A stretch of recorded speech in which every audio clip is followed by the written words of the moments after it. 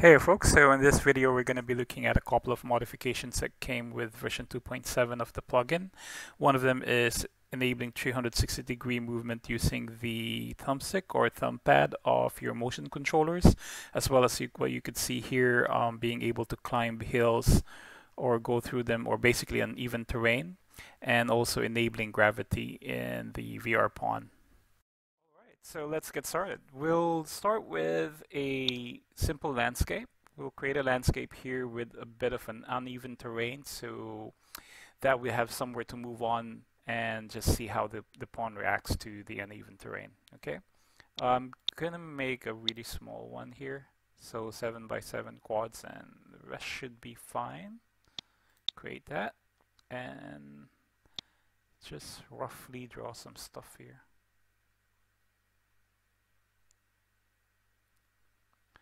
Let's create some unevenness around the pawn player start.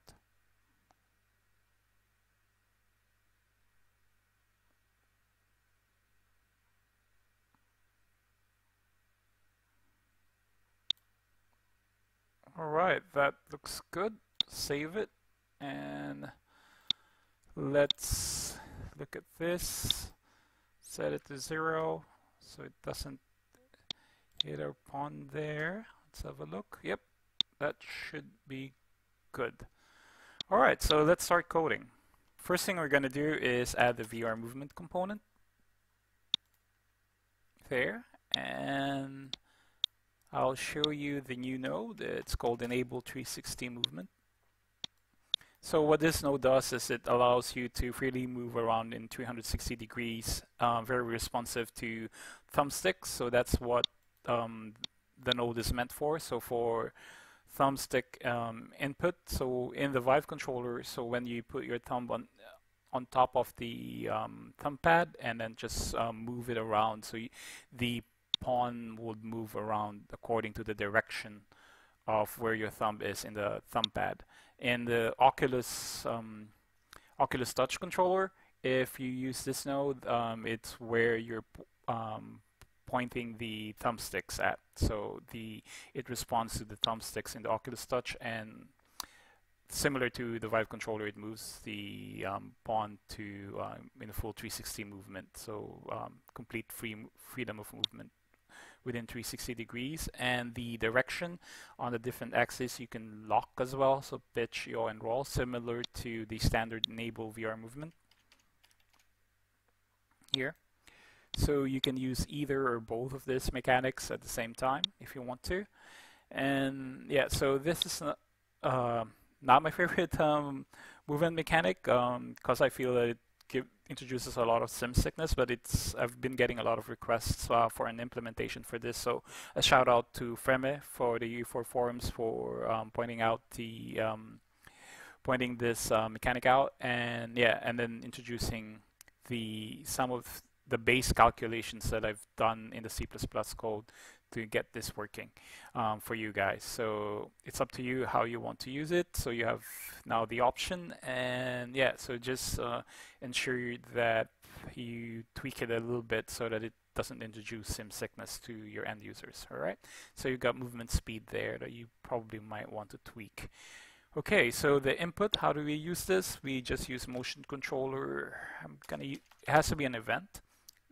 I'm going to use the left one. So left motion controller thumbstick X and the left motion controller event thumbstick Y. There you go. So we're going to use those two axes. There. X and Y. Plug them in. Of course, there's a far more polished way of doing this, but for something quick, this should be good enough for demo and we're gonna have the motion controller left so that you could quickly see what it can do. So with this, with that simple setup, you now could do that full 360 movement um, using your thumb pad or the thumbstick in the Oculus Touch. And it will respond to the movements here. Alright, so now we have the ability to move the pawn uh, with just a couple of nodes there. Now we want the pawn as well to respond to this uneven terrain that we've created here. How do we do that? To do that, you need to enable gravity. So I think I've already have it set up here. I'll just disable that. Um, by default, the pawn doesn't have um, gravity, but or the gravity isn't enabled, as it does take um, resources. But if you want to have gravity for your pawn for your um, experience, then you could just enable it here. And if you then also want to make it respond to uneven terrain as well, uh, you can take that in there. So now you have both gravity and even and a response to uneven terrain. The thing is, you need gravity for the respond to uneven terrain to work. So, you, but you can have gravity alone um, without the respond to uneven terrain. So, all right. So for this demo, we're going to use bo both. So we're going to have gravity and respond to uneven terrain. So this is not a valid configuration, so it will do nothing. It won't have, because gravity is required for the uneven terrain. But for this demo, we're going to be using both, okay? So I hope I didn't confuse you there. But anyways, the gravity and respond to uneven terrain, they have to be both enabled for the response to uneven terrain to work the you've got a couple of other stuff in here. So you've got gravity strength. So how strong the gravity is. So the tree is there by default but you can tweak it. Um, floor trace range is how far um, the trace is. So what actually happens here is um, it goes to the it finds the camera for the spawn and then does a trace towards the floor. So a raycast towards the floor.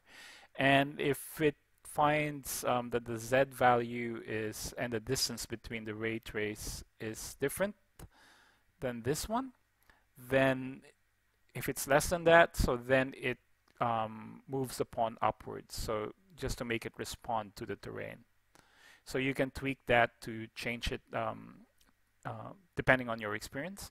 And you've got the floor trace tolerance. So what this value does is this is the amount that needs to be um, different. So from the floor trace range, let's say it's 150. I do a raycast from the camera to um, the floor in 150.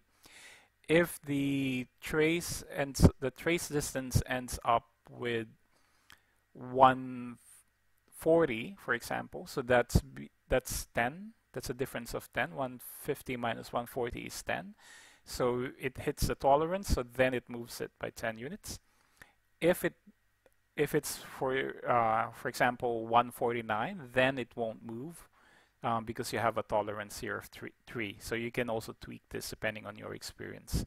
So if you put this too low though, um, just a warning, you might get um, just because of how floats are um, in programming, uh, uh it you might get a bit of a jittery movement. So it kind of feels like you're moving up and down even though the surface is a little bit quite level. So you need to tweak this. But 3 as a default should be fine. And you can also change the gravity direction. So you've got um, at the moment negative 1, so it falls down. So negative 1 in Z, the Z axis. So it's up to you then to, you could use a custom gravity if you want to. So the option is available for you. Alright, so um, that's pretty much it, and let's give this baby a whirl. Alright, so now we should be able to move around this scene and be able to walk as well. As you can see here, I can climb up hills, walk up them, and just basically move around here freely using the 360 degree movement and also be able to fall. And there you have it. So we've been able to go through um, 360 degree movement using the thumbstick or the thumb pad of your motion controllers and also um, have the pawn respond to uneven terrain and enable gravity on the pawn which um, kind of works hand in hand together. Alright, so I hope that was useful guys and any questions just hit me up in the UE4 forums or um, send me an email. Alright, see you guys then. Cheers!